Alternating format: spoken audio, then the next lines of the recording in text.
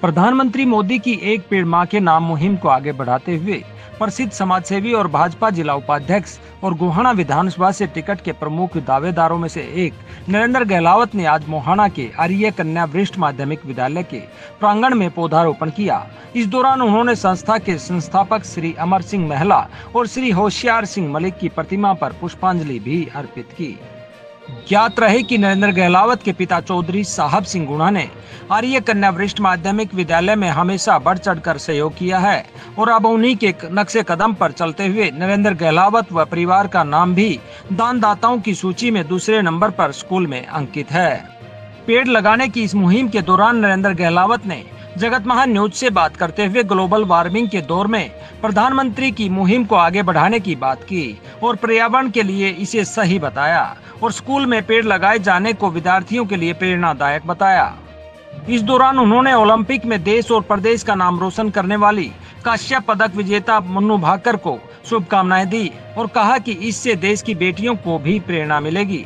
शहर और गाँव में उनकी चर्चा के सवाल पर नरेंद्र गहलावत ने बताया कि वे शहर में 25 साल से बिज़नेस कर रहे हैं और उनका प्रोडक्ट हर घर में होने के कारण सबके साथ उनके मधुर संबंध हैं। नायब सिंह सैनी के मुख्यमंत्री बनने के बाद की जा रही घोषणाओं के सवाल पर उन्होंने कहा कि इससे कार्यकर्ताओं और आम जनता में काफ़ी उत्साह देखने को मिल रहा है, क्योंकि मुख्यमंत्री नायब सिंह सैनी रात के 12 बजे भी लोगों की समस्याएँ सुनते हैं और समाधान करते हैं। इस दौरान उन्होंने बताया कि वे जमीनी स्तर पर काम करते हैं और गुहाना में कमल खिलाने की मुहिम में लगे हैं। इस दौरान उन्होंने हर व्यक्ति को मूलभूत सुविधाएँ मिलने और गुहाना हल्के को प्रधानमंत्री के सपने के अनुसार विकसित गुहाना बनाने की बात कही। इस दौरान उन्होंने हल्के की जनता को संदेश देते हुए कहा कि सभी को पर्यावरण बचाने के लिए एक पेड़ ज़रूर लगाना चाहिए। देखिए, हमारे यशस्वी प्रधानमंत्री श्री मोदी जी ने नरेंद्र मोदी जी ने एक मुहिम चलाई है पूरे देश में एक पेड़ हर आदमी लगाना चाहिए माँ के नाम का। तो उसी मुहिम को आगे बढ़ाते हुए हम आज अपने संस्था है, ये हमारी आर्य कन्या वरिष्ठ माध्यमिक विद्यालय इसमें आए हैं। ये की बहुत ही एजुकेशन की बहुत ही अच्छी जगह सोसाइटी है और यहाँ पे हम काम करें सब गरीब बच्चों के लिए। एक धर्मार्थ के नाम पे ही हमारा स्कूल चला हुआ है और मैं लगभग इसमें तीस साल से इस स्कूल में किसी न किसी पद पर कार्यकारिणी या सचिव के रूप में या और किसी उसमें भी जो भी हमारी जिम्मेवारी दी है हम लगातार इस स्कूल में लगे हुए हैं। पर्यावरण असंतुलन का दौर चल रहा है। काफ़ी पर्यावरण में गर्मी देखी जा रही है। ऐसे में आप स्कूल में ये पेड़ लगाकर विद्यार्थियों को क्या संदेश देना चाहते हैं? देखिए आज पर्यावरण की बहुत बड़ी समस्या है क्योंकि पेड़ नहीं रहे। पुराने पेड़ बहुत बड़े बड़े पेड़ होते थे वो आज सब ख़त्म हो गया, लोगों ने कटवा दिए गए हैं और आज ये इतनी जो गर्मी है, हमारे को एक दिन ऐसा हो जाएगा, अगर पेड़ हम नहीं लगाएँगे तो हमारे को ऑक्सीजन भी नहीं मिलेगी। कार्बन डाइऑक्साइड का स्तर बढ़ने लग रहा है। इसलिए हमने ज़्यादा से ज़्यादा पेड़ लगाने चाहिए और स्कूल जैसी संस्था में तो पेड़ लगाना और डबल फ़ायदा होता है तो इससे बच्चों को भी प्रेरणा मिलती है। अगर हम पेड़ की देखभाल भी करें और इनको आगे ज़्यादा लगाएँ। हरियाणा की बेटी मनु भाकर ने जो है ओलंपिक में काश्य पदक जीता है। ऐसे में क्या कहेंगे आप? देखिए जी के मंदिर में खड़े हैं। हमारी बेटी ये भी आर्य कन्या स्कूल है और हमारी बेटी मनु जो फरीदाबाद से है उन्होंने काश्य पदक जीता है शूटिंग में। मैं तो उसको बहुत बहुत शुभकामनाएँ देता हूँ जिसने इस देश का प्रदेश का और अपने परिवार का इतना बड़ा नाम रोशन किया और उससे बहुत बड़ी प्रेरणा भी मिलेगी हमारे बच्चों को। ये हमारी बच्चियाँ हैं उससे प्रेरणा लेकर के बहुत ज़्यादा आगे भी बढ़ेंगी और मैं तो यही कामना करता हूँ, वो बेटी अब काश्य पदक लेगा ही आगे गोल्ड मेडल भी ले लेगा। जी जगत महान न्यूज़ की टीम लगातार जो है हलकों का सर्वे कर रही है तो आज हमारी टीम सर्वे कर रही थी गोहाना हलके का, जिसमें आपका नाम ये देखने को मिला कि आप शहर में भी और गाँव में भी दोनों जगह चर्चित नज़र आए। ऐसा क्या करते हैं आप? देखिए हम शहर में तो इसलिए हम व्यापारी हैं बिजनेसमैन हैं। हमने 25 साल से गोहाना में हमने एजेंसी हमारी पहले ट्रैक्टर की थी अब हमारी टू व्हीलर की है हीरो बाइक की हीरो होंडा जो होती थी उसके हीरो बाइक की एजेंसी है। और हम वहाँ लगातार लोगों के संपर्क में रहते हैं। हमारा प्रोडक्ट भी हर घर में है।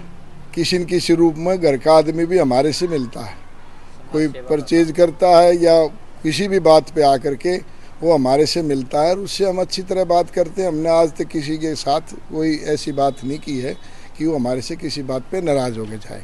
तो ये व्यवहार की बात है कि गोहाना शहर में हर आदमी के साथ हमारे संबंध है, परसनल संबंध जी, भाजपा से काफ़ी नाराज़गी देखी जा रही थी, लेकिन जैसे ही नायब सिंह सैनी जी मुख्यमंत्री बने तो उन्होंने सबको खुश करने की कवायद सी चला रखी है। आप किस प्रकार से देखते हैं? गाँव में जाते हैं तो किसी तरह की नाराज़गी या आपके पक्ष में लहर दिखाई देती देखिए, नायब सैनी जी आने के बाद हमारे वर्कर की और आम जो भी पब्लिक का आदमी है, उसमें उत्साह बढ़ा है कि नायब सैनी जी इतने अच्छे आदमी हैं, इतनी बड़ी आदमी हैं कि हर आदमी से रात को बारह एक बजे तक भी मिलते हैं और किसी को खाली नहीं वो करते, ना कहीं भी किसी टाइम पे मिलता है। विशेषकर वर्क वर्कर दो, उसमें एक उत्साह है। पहले थोड़ा सा इस बात का वर्कर को निराशा थी पर उनके आने के बाद वो लोग बहुत उत्साहित हैं और उनसे हमारे पूरे भारतीय जनता पार्टी में ज़्यादा उमंग है हौसला है। भारतीय जनता पार्टी के तकरीबन कार्यकर्ता कहते हैं कि अगर हमारे लिए तो कमल का निशान सब कुछ है। लेकिन फिर भी आप अपनी दावेदारी को किस प्रकार से देखते हैं? गोहाना में वैसे तो बहुत सारे लोगों ने पोस्टर लगाया है लेकिन आप जो है मुख्य रूप से सामने आ रहे हैं कि क्या कहना चाहेंगे? देखिए हम तो आज पार्टी का काम कर रहे हैं। लोग किस नज़रिए से देखते हैं? उम्मीदवारी के नज़रिए से देखते हैं या किस उससे देखते हैं? हमने तो हमारा, मैं बीजेपी में आठ नौ महीने से आया हूँ। मेरा चुनाव भी मैं मोहाना मंडल, जहाँ मोहाने खड़े हम, हमें इसके मंडल का प्रभारी लगाया है। और अब मेरे को बूथ का प्रवासी खानपुर मंडल पर बूथ का प्रवास करवाया है। तो हमने मुहाना मंडल में हर गाँव में जा कर के हमने पूरे मोहन लाल बडोली जी के सारे प्रोग्राम भी करवाए थे। हम लोगों से मिले भी थे और हमने अच्छा किया था। जिसे पार्टी भी हमारे से इस बात से खुश है। और अब हमने प्रवास की जो बात है, मैंने कल हमने पूरा प्रवास कर लिया अपने बूथ का, और हर उस पर गए हैं बूथ पर हर आदमी से मिले हैं, और हमने जो हमारा जो जिम्मेवारी लगाई थी, वो प्रॉपर निभाई है। प्रधानमंत्री मोदी जी दो हज़ार सैंतालीस में देश को विकसित बनाने का सपना देखते हैं। तो गोहाना को, गोहाना विधानसभा को विकसित बनाने का सपना क्या नहीं देख सकती जनता? देखिए, हम तो चाहते हैं कि गोहाना तो पूरे देश में सबसे पहले नंबर पर गोहाना हमारे पूरी विधानसभा विकसित बने।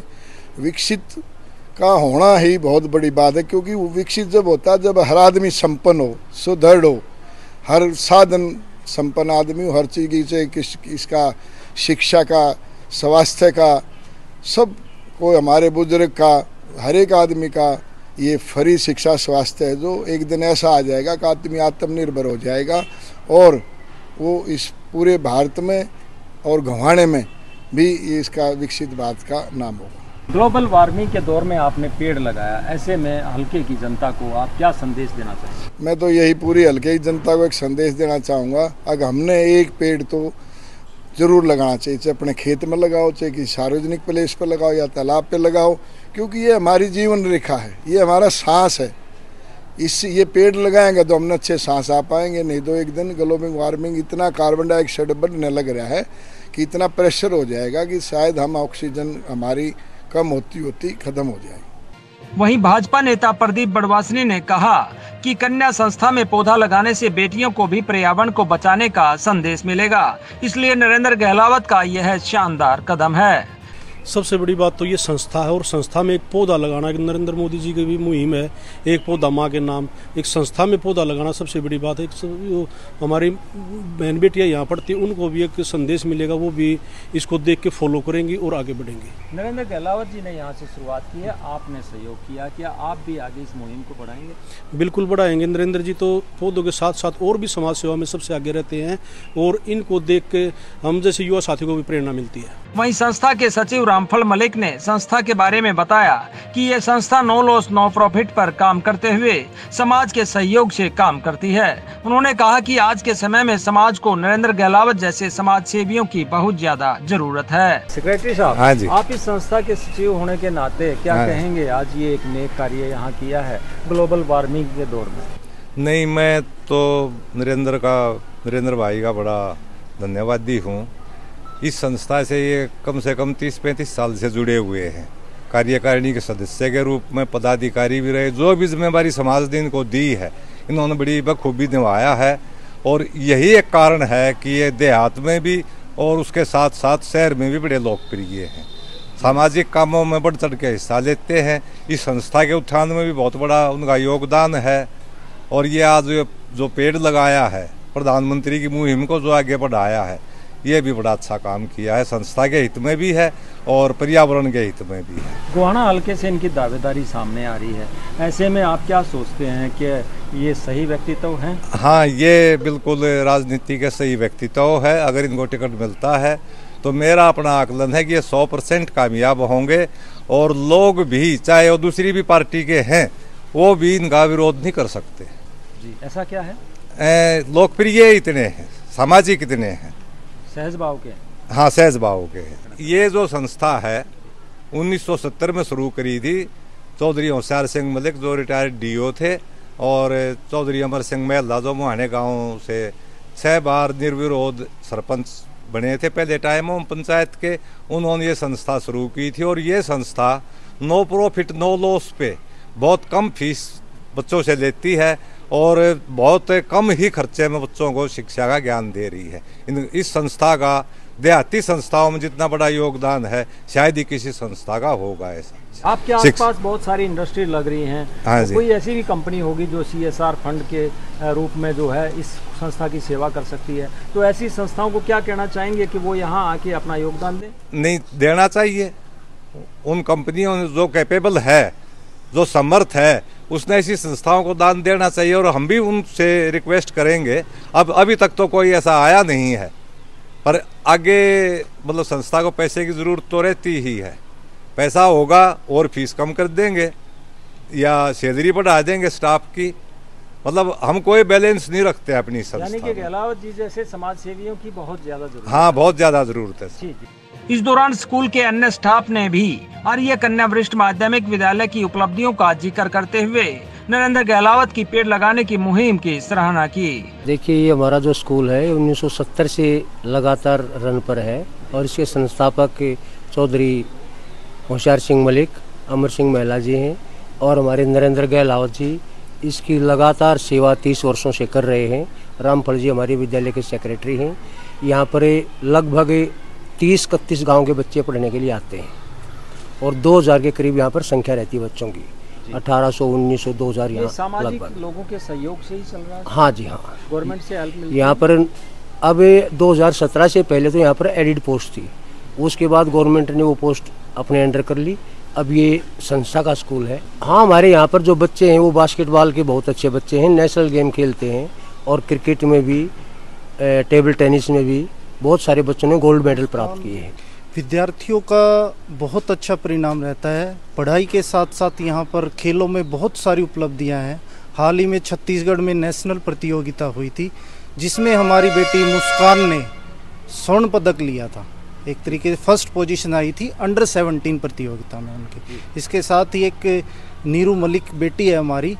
लॉन्ग टेनिस में उन्होंने नेशनल लेवल पर अपनी एक उपलब्धि प्राप्त की है, जो शायद ही आसपास के किसी स्कूल के बच्चे ने प्राप्त की हो। जगत महान न्यूज़ के लिए मोहाना से तेजवीर सिंह की रिपोर्ट।